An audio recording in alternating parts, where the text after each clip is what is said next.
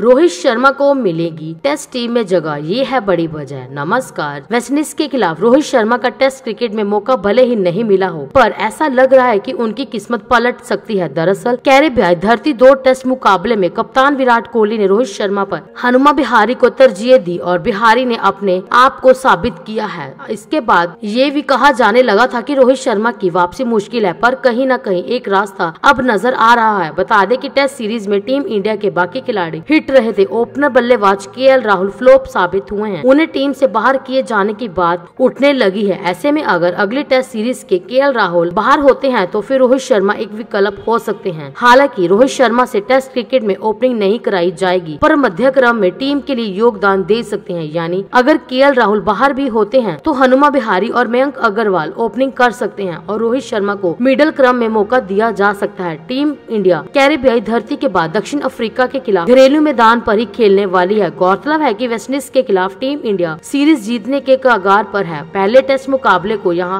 उसने 318 रनों से जीता था वही अब दूसरे टेस्ट मुकाबले में भी वह मजबूत स्थिति में है देखने वाली बात रहती है की विराट सेना सीरीज में क्लिप स्वीप करती है या नहीं वेस्टइंडीज के खिलाफ रोहित शर्मा का टेस्ट क्रिकेट में मौका भले ही नहीं मिला हो पर ऐसा लग रहा है लेकिन उनकी किस्मत पलट सकती है टेस्ट सीरीज में इंडिया के बाकी खिलाड़ी हिट रहे थे ओपनर के राहुल फ्लॉप साबित हुए हैं और उन्हें टीम ऐसी बाहर किए किए जाने की बात उड़ने लगी है अगर अगले टेस्ट सीरीज से के राहुल बाहर होते हैं तो फिर रोहित विकल्प हो सकते हैं दोस्तों अगर आपको हमारी ये जानकारी अच्छी लगी तो कमेंट करके बताएं लाइक और शेयर जरूर कीजिए और आगे भी ऐसी खबरें देखने के लिए हमारे चैनल को सब्सक्राइब करना ना भूले क्यूँकी हम हर रोज ऐसी खबरें आपके लिए लाते रहते हैं धन्यवाद